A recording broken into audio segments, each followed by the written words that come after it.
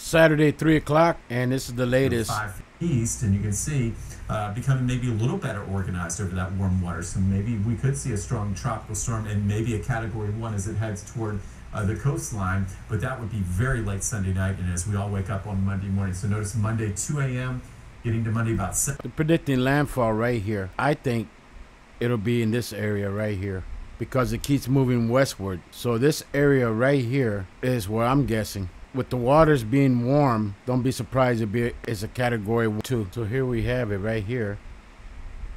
As of now, and this is hot water right here, about 90 degrees. But also too, we have this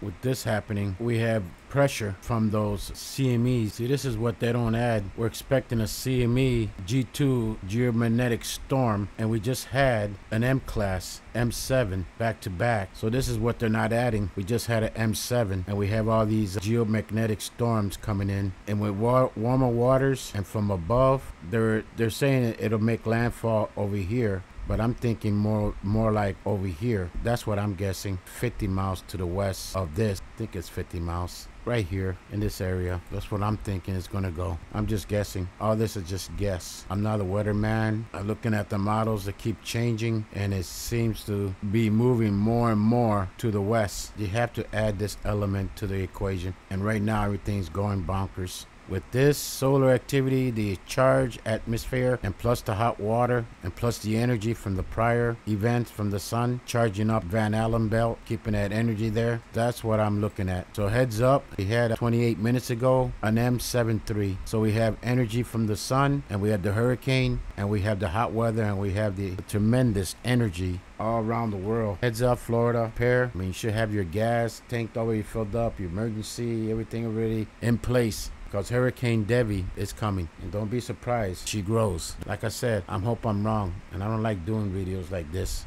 but that's just my opinion. That's what I feel. I don't know what you guys feel.